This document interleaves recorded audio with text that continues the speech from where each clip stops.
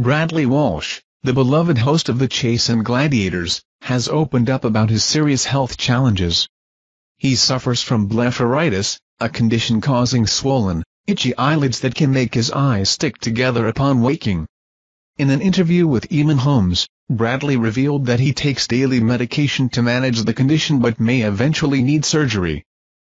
In addition to blepharitis, Bradley also faced a warning from doctors about high cholesterol, which they called a silent killer in 2020. He realized he was at serious risk and took immediate steps to lower his cholesterol, describing himself as a time bomb before making these changes.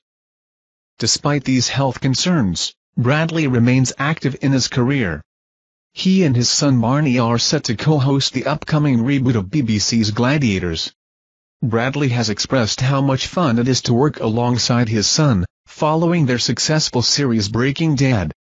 The new season of Gladiators promises exciting challenges with contestants from all over the UK, and a celebrity version is also in the works, featuring stars like Rob Beckett and Louise Minchin. While the exact air dates for the new series are yet to be announced, fans are eagerly awaiting the return of the iconic show. Through it all, Bradley continues to balance his health with his passion for television, showing resilience and dedication to his craft. Watching our videos Subscribe to our channel to get notifications when we post newest videos. Thank you and goodbye.